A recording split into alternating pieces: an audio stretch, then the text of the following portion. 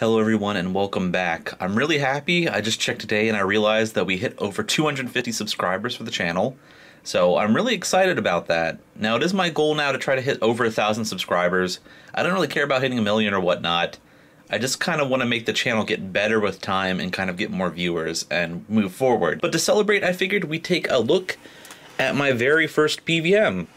Now, when I started the Sonyphile project a couple years ago, I had seen this on eBay listing locally. I had known nothing about professional video monitors at the time at all.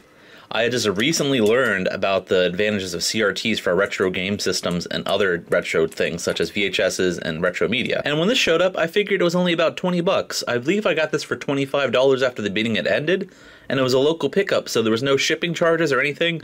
I didn't have to worry about getting any damage in shipping because I would be grabbing it myself. Now, after so many years, which I can't believe it's already been so many, I believe I started this stuff back in 2016 or 17. So I figured we celebrate by taking an overview of this monitor.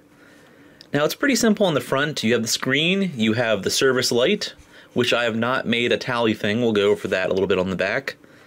There's the power button, and then there's adjustments for volume. Now, this does have mono volume, so there's only mono sound or one speaker. Don't expect stereo from this. You also have knobs to adjust the control, the phase, the chroma, the brightness, and the aperture of the unit. And then also small adjustable things to deal with the gain and bass for the RGB or the red, green, and blue. This unit itself does need probably serviced, but right now I am not going to do that. For those that don't know, my iron for soldering and stuff is kind of damaged. I'm going to look into getting a new one and I believe I'll recap this unit once I do. And then over there we have buttons to choose which input we have. There's an A and B button slash RGB slash YR PRBR. That is the switch between RGB and component on the back. Then we have line in slash RGB. We have a button to switch if it syncs or not the signal. We also have a blue only button which will pretty much make it look black and white to the human eye. And then underscan button, which we'll get to once I flip it around to the back. Then we have a horizontal vertical delay button. I haven't used that really for any of my projects, we're not going to go into too much detail. I looked it up, and according to the use manual, which I actually picked up one, I enjoyed this monitor so much that I actually picked up one of the manuals for it, and it looks like it was copyrighted for 1991. Now, this is a PVM 8044Q. This manual does work for the 8041Q and the 8040. It's a pretty basic manual going for everything that you would expect. I do wish I could find one of these. There was a mounting rack for two of these at once. If I ever find one that isn't destroyed or beat up, I'll definitely grab it. Especially since I actually picked up three more of these within varying amounts of condition. None of them are quite as in good condition as my first one. If we flip this to the bottom, we can actually see some information. This particular one was manufactured in 1997, actually. So this unit was in circulation for a good bit of time, in the 90s, and I think one of them I have actually says it was made up until 2001. Take a look back to the back. And this is what I primarily use. I do not have any DC adapters or converters to use this. So I just use ACN into a standard outlet in the wall. Now there are two battery flaps down there. This was made with portability in mind, and it was intended to carry this around for news and other things. So they made battery expansions just in case you didn't need an outlet and you could plug it into other equipment while taking it out to record things. These units were actually made in Japan as you can see by the label down here. And there's a little remote port.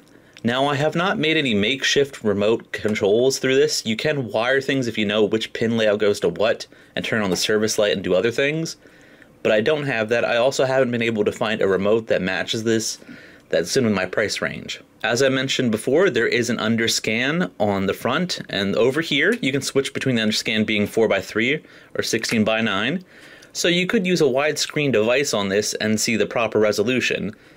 Or if you underscan it, like let's say you use a Super Nintendo and whatnot, that doesn't have an exact resolution that's 4x3 natively you could view the whole thing on that. Up here we have YCN, which refers to like yellow or composite. So you have composite signals going in. This right here is S-Video, which separates the Luma and the Chroma signals of composite video. So that gives you a sharper image. Right here is a BNC connection, which was one of the things that I first learned when I got this because I had no idea how I was going to plug in my game systems. A BNC is a connection pretty much used on professional and security devices not so much on consumer devices. Over here is an RCA, which you might be standard or used to or accustomed to. Those are pretty much common on any consumer device in the US. With this, if you get a little adapter, you can just adjust it and it will change it to an RCA. They're really cheap and on Amazon and everything for I think like five or 10 bucks right now. So don't worry about the price on that. It makes it rather easy. We also have a second line like that button on the front said, which has in and then also out. I didn't mention that with the previous inputs but you can loop the composite or the S video in and then loop it out to another monitor device, such as a capture device, a second monitor, a regular size TV even. And down here is where we have the component slash the RGB inputs. Now, component has a red, green, and a blue cord that run on it. I won't say the signal because I said it earlier and I commonly mess up saying that. But you can hook up standard component cables if you have an RCA to BNC adapter. There's also mono audio on this, so there's only one line in. I do have adapters that kind of just merge the two. Although it will still be mono, you would have both sound channels if it's something that only does stereo merged together. Now, if you were to use RGB though, you would need to use these, and then depending on which RGB it is, there is a sync signal. So this would do the red, the green, the blue, and then you would need another signal to sync it.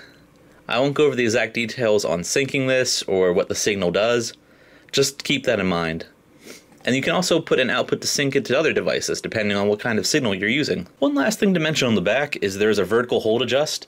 Now when I got this, I was kind of worried that things were messed up, and earlier this year when I dug this back out to use it, while moving stuff around, I was worried that this was damaged. Luckily, the vertical sync was just knocked slightly off, and you might have to adjust that if your signal does not seem to be proper, or seems to be going up and down. The other side's basically the same, nothing really fancy here. I do plan, once I get a soldering iron, to try to repair the other ones that I have, since I have three other ones of this unit that do have much more issues than this. Although this one does need adjusted and calibrated at this point. And there you have it. There's a basic overview of my very first PVM. I hope you enjoyed it. I won't display an actual use of it in this video. I just kind of wanted to look at it. Plus, I have multiple videos where I've just used this. This is my primary use for almost any video I make just because of its size, portability, and the fact that it has multiple inputs. I hope if you have interest in seeing how this looks that you look back at some of the older videos and kind of get an idea of how good it is, because it's much sharper than your standard consumer set. I believe most consumer sets were maybe 150 scan lines or lines that the CRT draws the gun on, and this is more like 450. Don't quote me on that exactly because I'm kind of making this quick to get it out by the end of the month, but I just wanted to share with you guys this important thing. This has helped me so much on learning about retro gaming, video signals, with different video signals in general with analog and kind of pushed me forward to learn more about AV in general. It's hard to believe that I started this project over two or three years ago, even. It's the fact that it's been over five years is kind of crazy. And I really hope that moving forward we work on better stuff and you all become entertained with the videos that I make. I have multiple projects I'm going to work on now, but most of them are delayed until further notice. I will make a video by the end of each month this year and keep that goal in mind, but I hope if you are interested, you continue watching this channel, you comment, subscribe, and if for some reason YouTube goes down, we find another platform I can share all this stuff with you guys. Thank you so much again, everybody that's made this possible and helped us hit over 200 subscribers and over 250 subscribers. Also, thank you for all of my friends and family who have supported me on this channel and through this endeavor the last couple years. Without them, I don't think I would get this far. And until next time, I hope everybody enjoys, stay safe out there, and expect another PlayStation 2 based video soon. Take care.